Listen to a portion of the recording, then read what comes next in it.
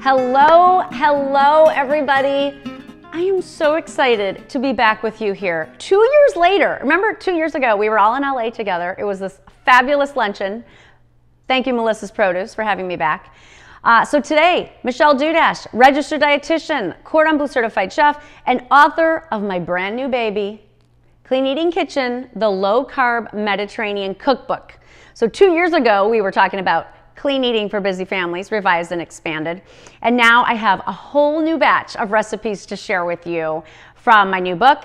They're inspired from my travels to Mediterranean countries, growing up Lebanese in a small town in Wisconsin named Fond du Lac and uh, those recipes from my grandmother's and uh, you know some restaurants i've been to that i've turned into low carb mediterranean renditions making them easy for home cooks and healthy too. Uh, so I'm broadcasting today from Carmel, Indiana. Yes, I moved. Actually, let's see. When I when we were together last time, I actually yeah, I was already in Indiana. Before that, I was in Scottsdale, neighboring. We were neighbors back in the day. Uh, so broadcasting from my home kitchen. So this is actually the kitchen that you see on the last cookbook, and we're gonna have some fun today. So in my new book, uh, you're going to find over 100 recipes spanning from appetizers to tons of salads, soups. We have a completely plant-based chapter in here. We have a meat and poultry chapter. We have, of course, seafood, tons and tons of different seafood recipes. And I tried to use seafood that of course, a lot of people, the really popular ones like shrimp, but also there's like a calamari recipe in there. There's a few other random ones that were inspired by my travels.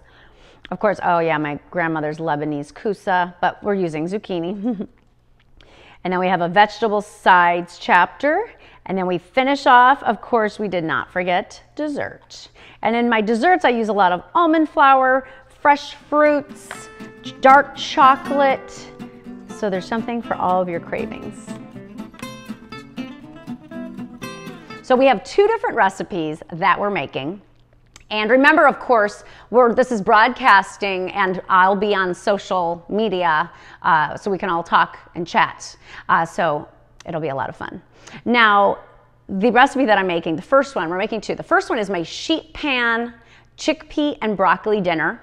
I love this recipe because it's so great for weeknights, busy weeknights. You put everything on the pan, vegetables, plant protein. There's even some fruit, you know, bell pepper counts as a fruit. We pop that in the oven, so easy and delicious. And then the second recipe is great for an appetizer or a snack or even a light meal, which are my mini bell peppers stuffed with turkey and pistachios. Love it. So I'm gonna take you through this. Maybe you're cooking along. Awesome. You'll have two fabulous uh, recipes to enjoy today. So let's get started. Okay, so this first recipe, my sheet pan chickpea and broccoli dinner. Love this recipe, super easy to make. So the first thing we do, we take our chickpeas. Of course, I'm using Melissa's Produce. They're peeled and steamed chickpeas. Love those. Just pour that onto the pan. We have some broccoli. And thank you, Melissa's, by the way, for sending all of this amazing produce that we see here today. We have our broccoli that's been chopped. Now, by the way, I'm just dumping this all in a sheet pan. If you wanted to use a big mixing bowl, go for it. Uh, I don't like washing dishes. Who does? Unless my husband is washing dishes at night. So I just toss it right on the pan, and that's totally fine. But if you feel more comfortable with a bowl, go ahead and get a bowl. Now, we also have some mushrooms. Now, the mushrooms, we have some gorgeous mushrooms that Melissa sent me.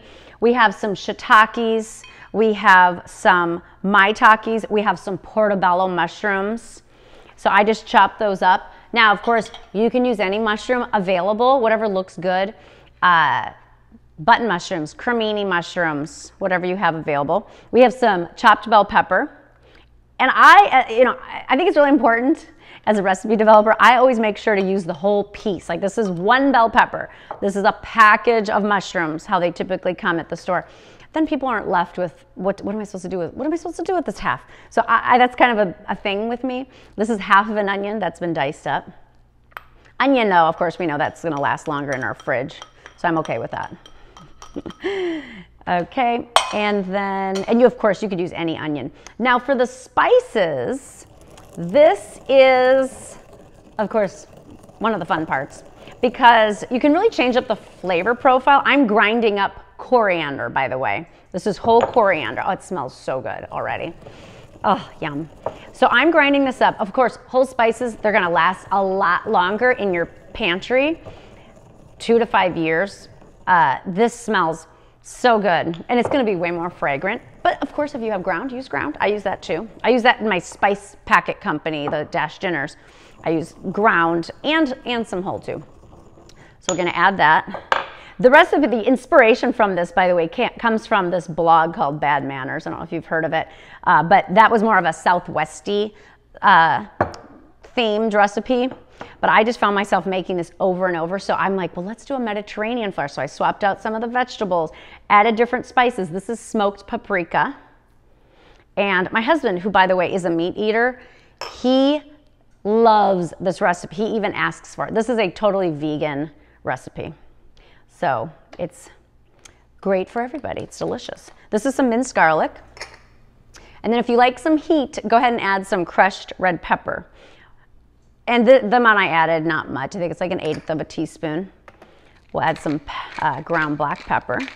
But if you do like it spicy, by all means, add more. And then we'll add in, so instead of salt in this recipe, I use liquid aminos.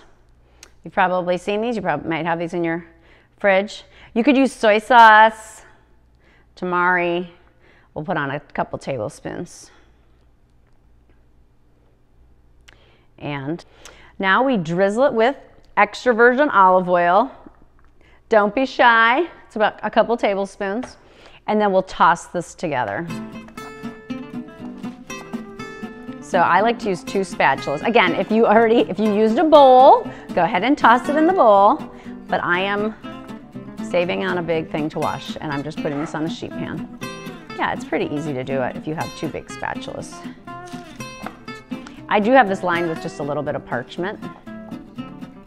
It just kind of makes our cleanup a little easier. Okay, and now we just spread that out. And you want this in a single layer, as, as even layer, because of course we want to have even cooking. So I'm using, this is a restaurant half sheet pan. If your pans at home are smaller, you probably want to divide this into two pans. Okay, now we will just take this, pop it in a 425 degree convection oven. Okay, so this has been in the oven for 20 minutes. So at this point, it smells so good already.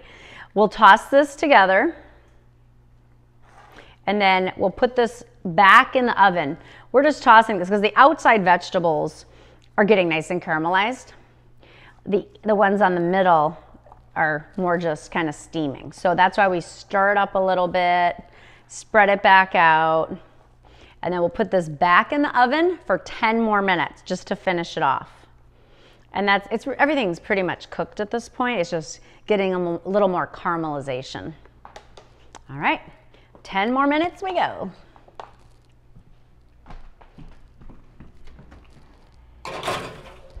So it's been 10 more minutes. Now it's ready for the finishing touches. So what we do now, we add in our fresh chopped parsley. And then we're gonna add in some lemon juice. These herbs. Herbs are another big part of the Mediterranean diet. Spices as well. Now we'll take half of a lemon, squeeze this on top. I always like to use fresh lemon juice at the end of cooking. It's just gonna give it a brighter taste. Now the zest, you can add that earlier on in the cooking process. And now we just toss this one more time before we plate it. Oh, you guys, it smells so good.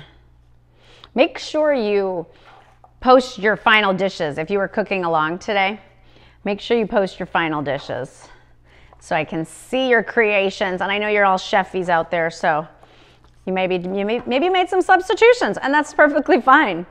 I find I, I make substitutions all the time, depending on what, what I have on hand. Carrots are also really nice in this, actually. Okay. So we'll just plate this up. I like to use a bowl for this dish.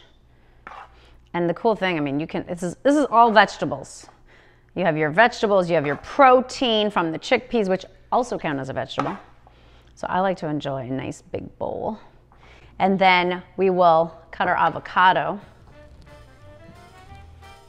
These beautiful, perfectly ripe avocados. I don't know if you know this. The perfectly ripe avocado is, it's a mix of green and that dark, dark color. And I really like to use a third of an avocado on this. That's a third of an avocado is the official serving size for an avocado.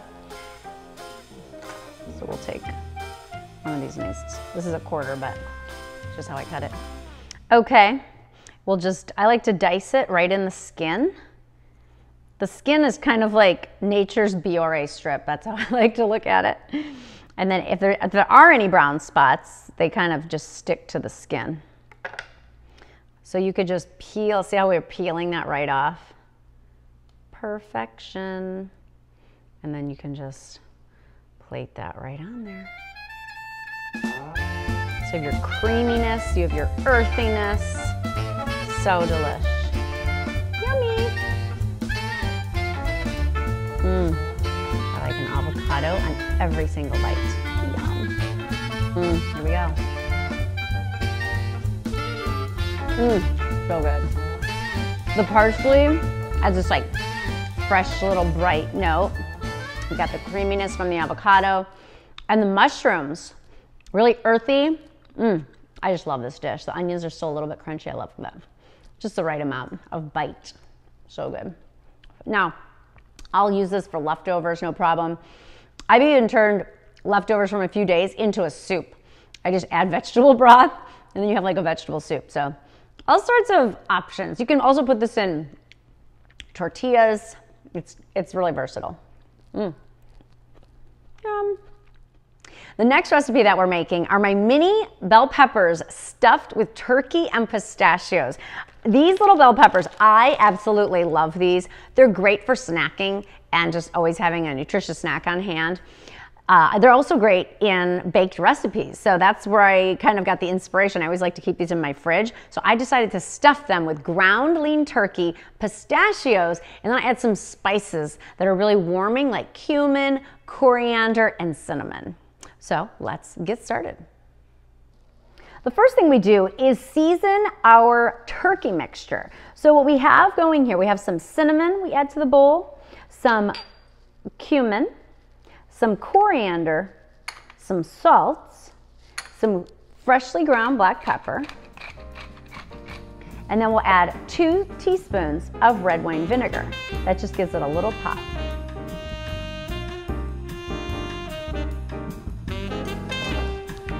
And we just stir this all together.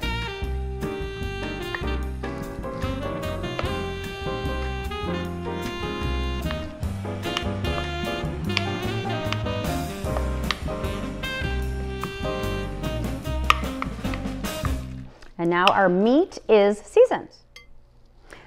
Now we take our adorable little mini bell peppers and we'll cut off the tops. I love these for snacking. Super convenient, sweet, delicious. And then we just finish cutting out the membranes. Doesn't have to be perfect, but you want to get out the seeds. One more step with the little bell peppers is take a paring knife and just poke a little hole in the bottom. That little air gap will make stuffing the peppers easier.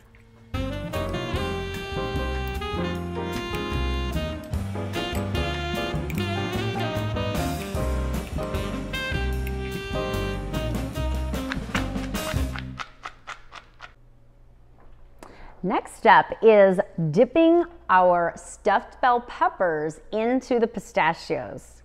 And you don't have to be, uh, you know, you, you want to be generous with the pistachios. So you want them completely covered. And so you just dip those in. These will give it a nice crunch and they'll roast even further in the oven. And they're, it's a nice crispy, crunchy contrast to the bell peppers and the turkey inside.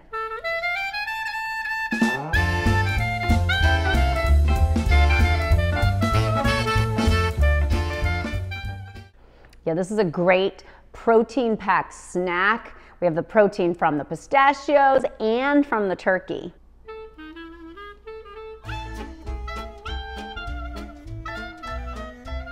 Final step is drizzling the peppers with some extra virgin olive oil. This helps crisp up the skins a little bit. And of course, olive oil, great for you. Then what we do is sprinkle it with a little bit of sea salt, just to season the peppers a little bit more. Now we'll just pop these in the oven. You know they're done when they're sizzling really aggressively. The peppers are tender and the turkey is somewhat solid when you give it a little squeeze. Okay, so I, I pulled these out a little bit ago, so I'm gonna give these a taste. They're so delish. I'll just, i I'll take a little small one and just pop that right in my mouth. So good. I'm gonna give it a, mm. You guys, if you didn't make this yet today, it's a must. So good. Crunchy. I can taste the spices. Bright. Mm. There's a pepper on my lip. so good.